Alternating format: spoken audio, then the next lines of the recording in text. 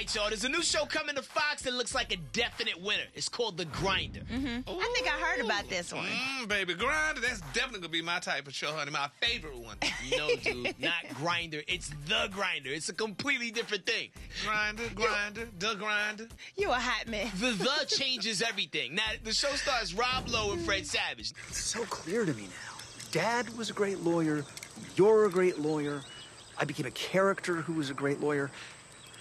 I need to be doing this. For real. So you're gonna go to law school? Well, I don't think I need that well, with the show and all. Oh, sure. Well, acting on a TV show is the equivalent of going to law school, so why would you need that? He thinks he's the grinder. He doesn't know about the grind. I know about the grind. I, I, I grind. I go to work every day for years and years, and what do I do there? Grind? I grind because I am the grinder. Yeah. I grind hard. Okay. All right. this is going to be hilarious. I didn't really know that Rob Lowe was this funny. And I think the dynamic of him like thinking he can do what his brother can do, but his brother actually can't do what he really can do is going to be hilarious.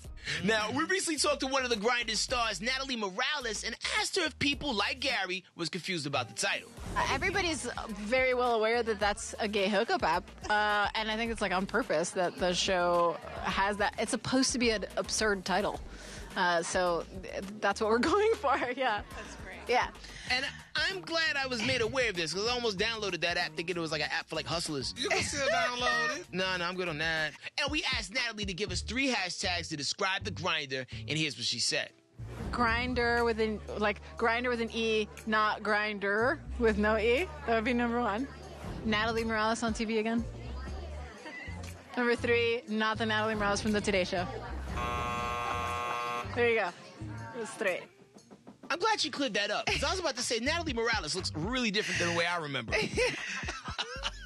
All right, so I'm there for it. You there for it? Oh, I'm there. I'm totally gonna watch it. And I'm definitely gonna watch it because I like the title.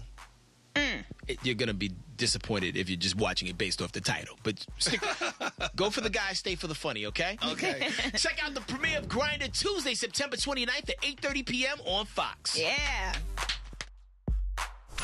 Like what you saw? Was you feeling the vibe? Click on that box on the low and subscribe.